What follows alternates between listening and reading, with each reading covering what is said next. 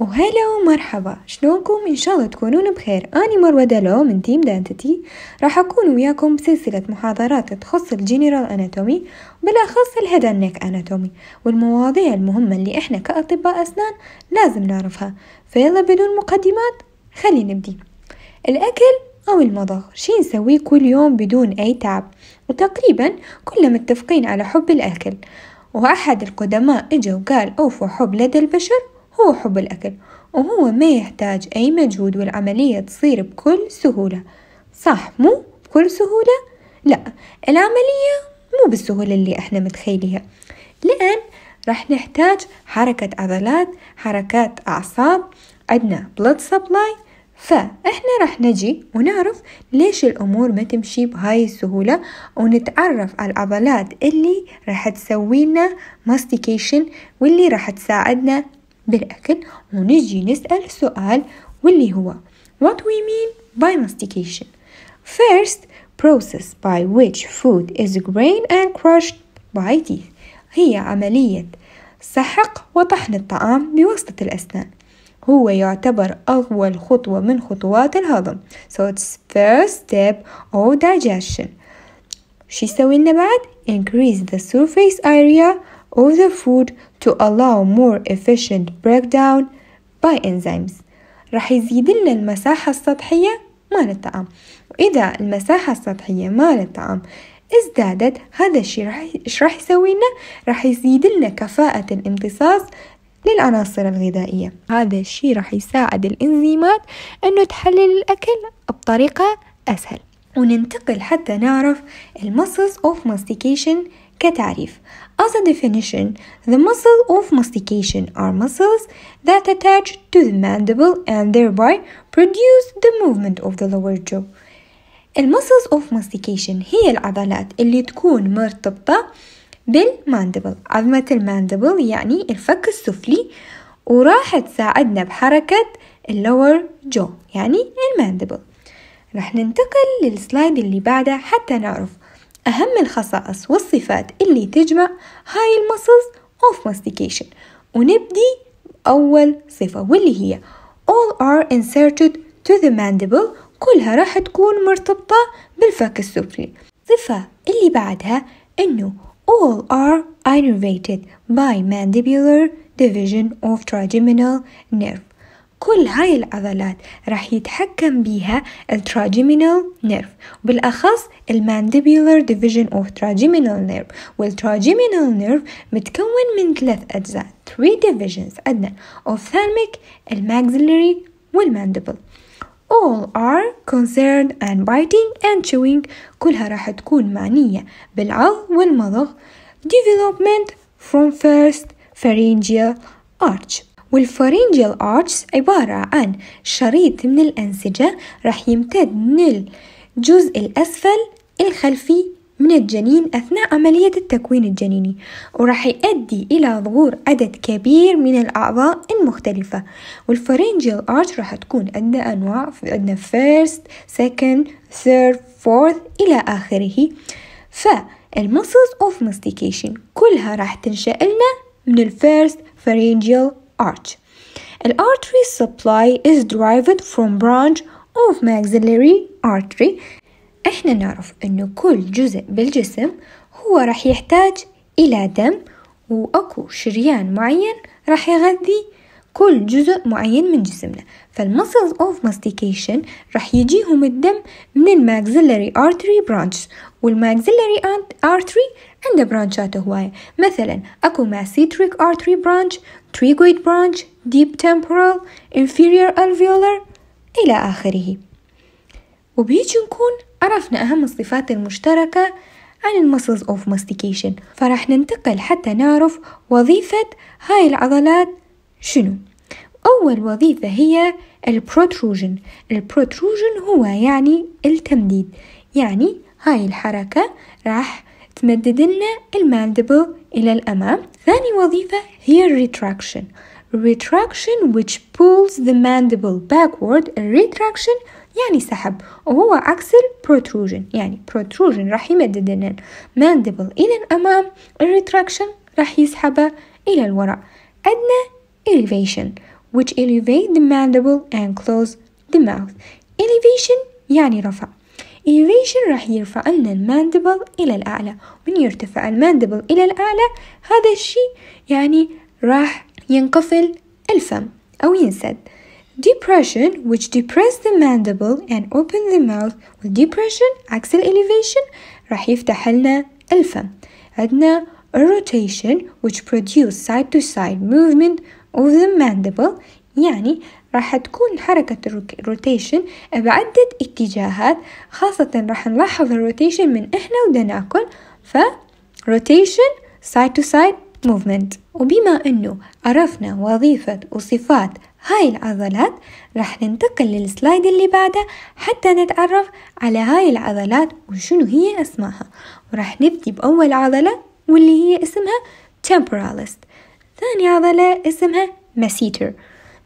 ثالث عضلة اسمها middle trapezoid and last one lateral trapezoid muscle.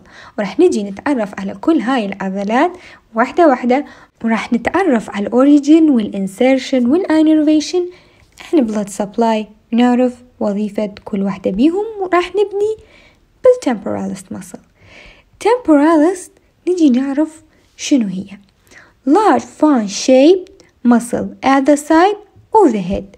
Temporalis هي عبارة عن عضلة كبيرة موجودة على أطراف الرأس وهي تكون على شكل مروحة.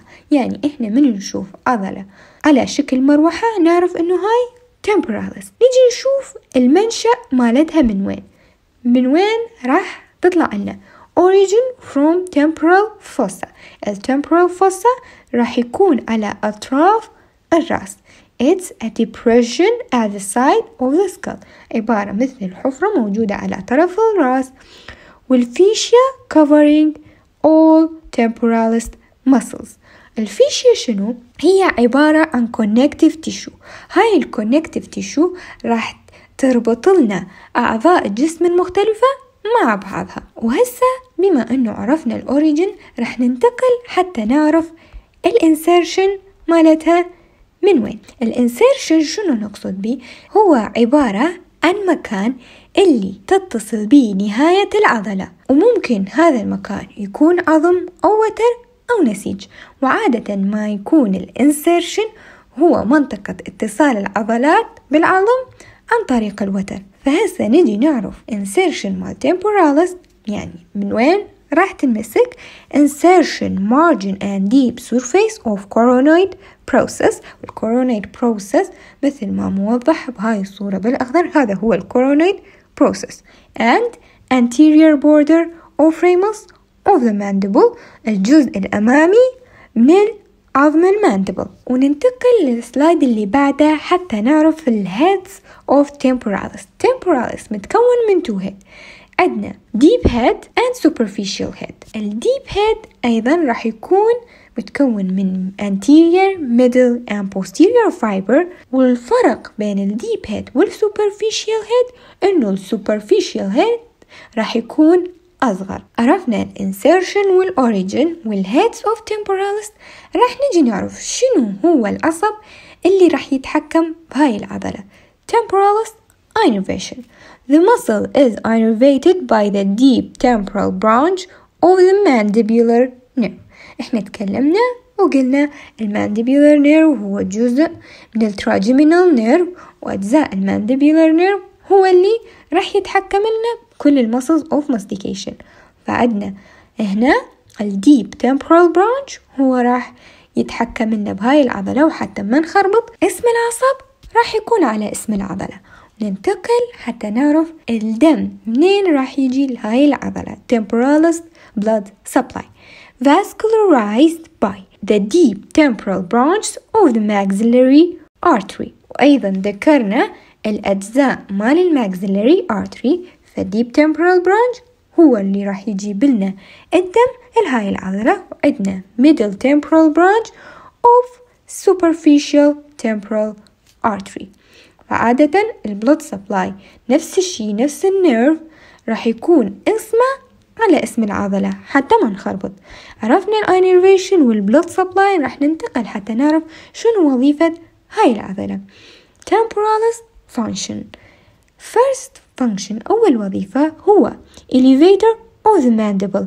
So it's close the mouth. إحنا ذكرنا سابقا إنه من يصير عندنا elevator يعني يرتفع العظم مال الفك السفلي راح ينسد الفم. وثاني وظيفة هو ال retraction of the mandible. راح يسوي لنا راح يسحب لنا الماندبل إلى الوراء. تعرفنا على temporalis. راح ننتقل حتى نعرف عضلة أخرى واللي هي أخت التمبوراليس اسمها masseter. راح نجي نعرف شنو صفاتها. The masseter muscle is a strong quadrangular muscle that covers the lateral aspect of the ramus of the mandible. ال masseter هي عبارة عن عضلة قوية قوية. وراح تكون رباعية الشكل. يعني إحنا نقدر نقول إنه هي مستطيلة تقريبا. راح تكون موجودة على الأطراف مال ال ramus of the mandible. معلومة أخرى عن ال masseter composed of two layers that slightly differ in their attachment. بتكون من طبقتين. الطبقة الأولى هي superficial layer الطبقة الثانية deep layer. راح ننتقل حتى نعرف ال origin مال ال superficial layer وال deep layer وراح نبدي بال superficial layer ونعرف ال origin مالتها من وين. Arise from the maxillary process of the zygomatic bone. وراح نجي نعرف شنو هو ال zygomatic bone هي عظمة راح تكون أسفل العين. إذا طلعناها وشفنا شكلها راح تكون على شكل ألماظة وأيضا نقدر نقول عليها cheek bone يعني عظم الخد. فالمنشأ مال superficial layer of masseter راح يكون من هاي العظمة. بالأخص ال maxillary process مالتها. وال maxillary process هو عبارة عن الجزء الأمامي العلوي من عظم الزيغوماتيك وأيضا the anterior two third of the zygomatic arch. بالنسبة للبنات شباب نعتذر شوية على صفحة أكو طريقة سهلة حتى إحنا نعرف وين الزيغوماتيك أرش مالتنا. شو نسوي؟ إحنا من نجي نحط مكياج وخاصة من نحط كونتور وخدود. العظم اللي نحط عليه ال contour بالذات أو الخدود هو عظم ال zygomatic بكل سهولة وبهيج أنتو ما راح تنسوها. نجي لل insertion. ال insertion مالتها راح يكون من ال masseteric tuberosity وهذا الجزء المؤشر هنا. هاي المنطقة إحنا راح نسميها ال masseteric tuberosity هو المنطقة اللي راح تمسك فيها هاي العضلة. ننتقل لل deep layer ونعرف المنشأ مالتها. Arise from the middle surface and inferior margin of the zygomatic arch.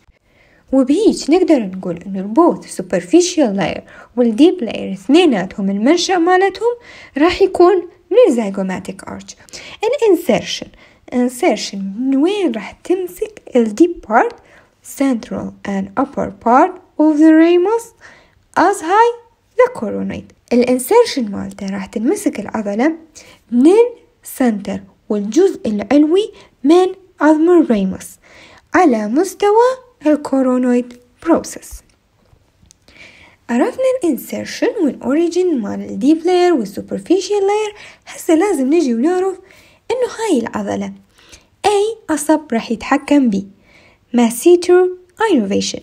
Masseter muscle stems from the masseteric nerve anterior division of the mandibular nerve. العصب اللي يتحكم بيه هو ال masseteric nerve مثل ما قلنا إنه كل الأعصاب اللي راح تتحكم بال muscles of mastication راح تكون جزء من شنو؟ من ال mandibular nerve. كالعادة اسم العضلة راح يكون نفس اسم العصب حتى ما نخربط. ال blood supply الدم منين راح يجينا؟ راح نجي نعرف. masseter blood supply.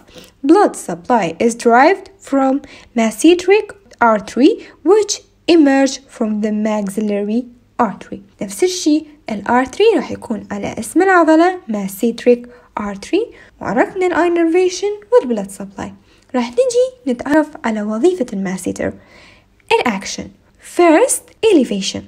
راح يرفع لنا ال mandible يعني راح يساهم بأنه نسد الفم. ثاني شي عندنا ال protraction يعني التمديد إلى الأمام. راح يقدم لنا عظمة ال mandible إلى الأمام. وال elevation الحركة مال ال elevation راح يكون المسؤول عنها هو ال deep fiber وال protraction المسؤول عنها هو ال superficial fiber تعرفنا على ال masseter وال temporalis عندنا أخت أخرى اسمها medial pterygoid راح نجي نتعرف عليها على صفاتها. Is a thick quadrilateral muscle. هي عضلة سميكة وراح تكون شكلها رباعية. أيضا نقدر نقول إنه هي مستطيلة الشكل وش راح تسوي لنا؟ Connect the mandible with maxilla sphenoid and palatine bone. إحنا نعرف إنه بالوجه عندنا مجموعة عظام مختلفة. كمها من العظام؟ فمنهم هو ال sphenoid وال palatine وال maxilla فهذا ال medial pterygoid راح يسوي لنا يربط لنا هاي الثلاث عظام مع عظم ال mandible نجي نتعرف على ال origin. المنشأ مالتها منين راح يكون؟ منشأ راح يكون من ال pterygoid fossa. And pterygoid process of sphenoid. ال pterygoid fossa نجي نعرف انه هو شنو هو عبارة عن مسافة مقعرة depression راح يكون موقعها من ال anterior maxillary bone و posteriorly راح يكون مرتبط بال pterygoid process وال origin مالته قلنا مال ال pterygoid راح يكون من ال pterygoid fossa and pterygoid process of the sphenoid عندنا عظمة ال sphenoid راح يكون عندها جزء تسمى pterygoid process. فال origin راح يكون pterygoid fossa and pterygoid tuberosity وراح تكون على اسم العضلة حتى ما نخربط. ال insertion مالتها راح يكون التريكويد tuberosity. ننتقل حتى نعرف الميدل تريكويد هل أيضا متكون من heads أو layers؟ يلا نعرف middle tricoid muscles consist of two heads we have superficial and deep both head insert to the inner surface of the mandible creating an axis of a strong pull of this bone ال pterygoid أيضا راح يكون متكون من طبقتين وهي superficial and deep وهاي الطبقتين اثنينهم راح يكونون ماسكين السطح الداخلي لل mandible وراح يكونون محور وهذا المحور راح يساعدنا بسحب قوي لهذا العظم. وراح ننتقل لل deep layer ونعرف ال origin مالته من وين the deep part from the bulk of the muscle and arise from the middle surface of lateral trigoid plate of sphenoid bone. إحنا قلنا عندنا عظمة السفينويد ومتكون من أجزاء. وواحدة من هاي الأجزاء هو lateral trigoid plate. والlateral trigoid plate راح يكون thin يعني خفيفة وتكون على شكل حدوة الحصان. وراح تمتد إلى الجزء السفلي من عظم السفينويد.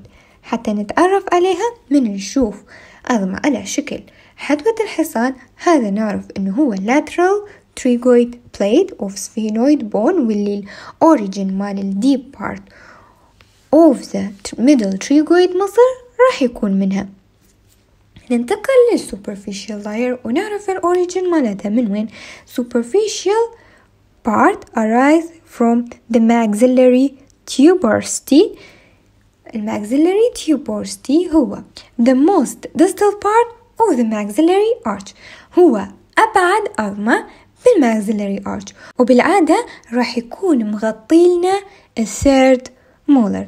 فيعني ال maxillary tuberosity بكل سهولة نقدر نعرفه. And the groove surface of the pyramid process of the palatine bone. Pyramid process جزء من ال palatine bone أيضا هو راح يساهم بال origin مع superficial layer. عرفنا ال origin مع superficial and deep layer ننتقل لل insertion من وين راح تمسك هاي العضلة medial surface of the ramus and angle of the mandible.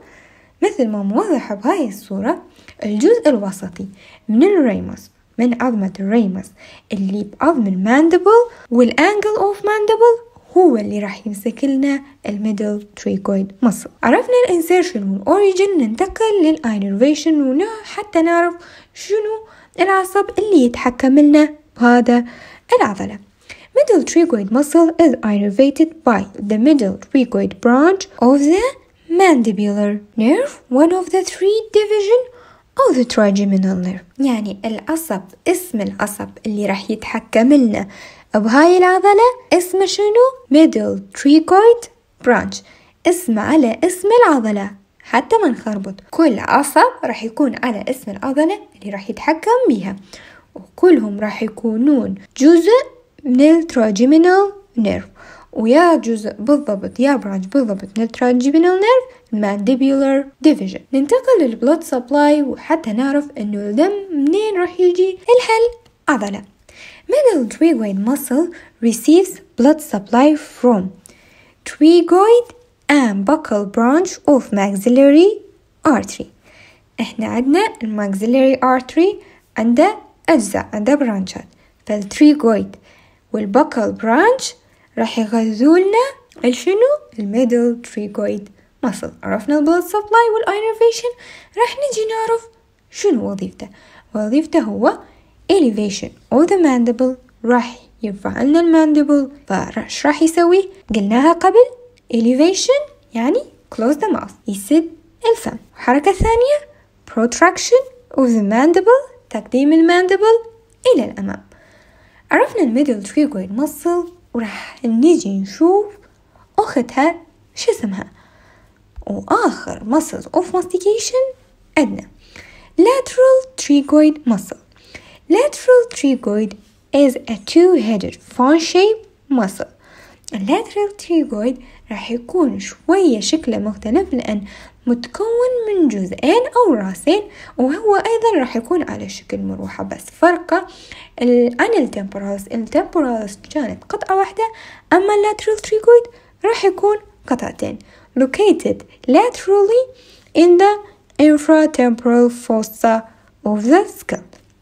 بالسكال عندنا infratemporal fossa فاللاترال تريجويد راح يكون موقعه بجانب infratemporal fossa ننتقل حتى نعرف المنشأ من وين superior head infratemporal crest of the greater wing of sphenoid bone وال infratemporal crest هو عبارة عن الجزء الجانبي من ال sphenoid bone وبالأخص ال greater wing لأن إحنا عندنا two wings ال sphenoid راح يكون مثل الفراشة راح تكون عندنا مثل مثلا جناح كبير وجناح صغيرة فال lateral surface من الجناح الأكبر هو عبارة عن ال infratemporal crest واللي راح يكون لنا ال superior head origin of lateral pterygoid muscle.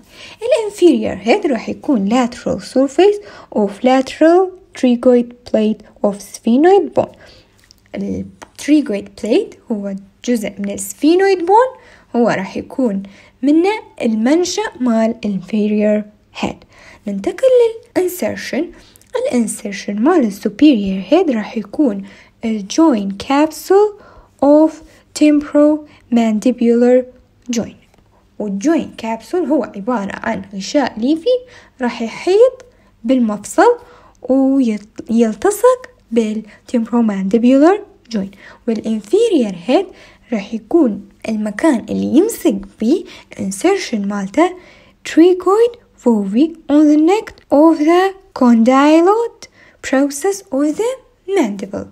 فال fovea أو ال pterygoid fovea نقدر نعرفها على إنه هي عبارة عن سطح مقعر.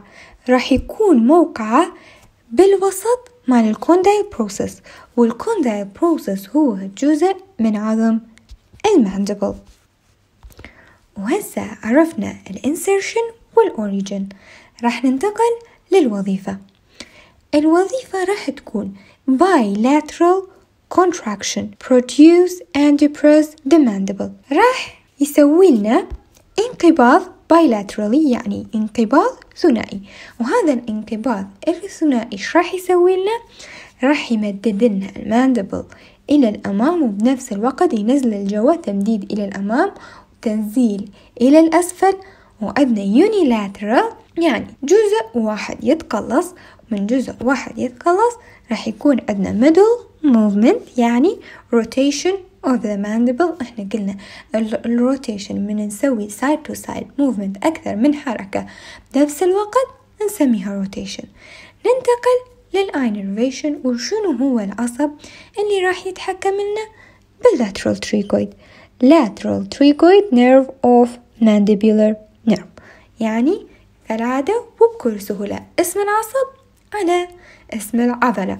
وال blood supply راح يكون pterygoid branch of maxillary artery. نفس الشي ال artery راح يكون على اسم العضلة حتى ما نخربط.